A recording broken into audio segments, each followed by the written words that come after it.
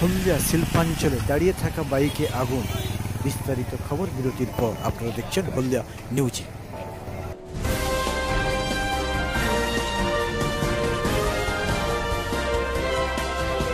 শিল্প শহর হলদিয়া। মাখনবাবুর বাজারে সামনে দাঁড়িয়ে থাকা একটি বাইকে হঠাৎই আগুন লেগে যায়। এলাকার মানুষ এবং দোকানদারদের তৎপরতায় আগুনটি নিয়ন্ত্রণে আনে। যদিও পেট্রোল পাম্পের সামনেই আগুনটি লেগে যায়। তৎক্ষণাৎ পেট্রোল পাম্পের অগ্নি নির্বাহক যন্ত্র দিয়ে আগুনটি নেবানোর চেষ্টা করে। যদিও হলদিয়া দমকল বাহিনী পৌঁছে যায়, কিন্তু তার আগেই আগুন নিয়ন্ত্রণে আনে বলে এলাকার মানুষের দাবি। আপনারা দেখছেন হলদিয়া নিউজে।